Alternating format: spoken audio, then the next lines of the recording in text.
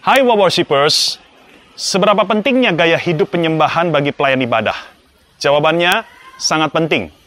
Sebelum melihat alasannya, mari kita pahami lebih dahulu yang dimaksud dengan gaya hidup penyembahan.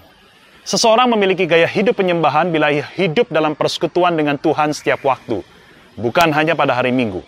Sebagai contoh konkret, ia rajin belajar firman Tuhan dan berdoa setiap hari. Mengapa sangat penting? Karena pelayan ibadah adalah tugas yang bersifat spiritual. Kita tidak mungkin memimpin ibadah dengan kuasa rohani kalau kita sendiri tidak dekat dengan Tuhan. Gaya hidup penyembahan juga menjadikan pelayanan kita lebih otentik. Apa pun yang kita katakan dan nyanyikan saat memimpin ibadah berasal dari hati yang mencintai Tuhan, bukan kepura-puraan. Pendek kata, bila penyembahan tidak menjadi gaya hidupmu setiap hari, maka apa pun yang kau lakukan dalam ibadah hari Minggu hanyalah gaya-gayaan.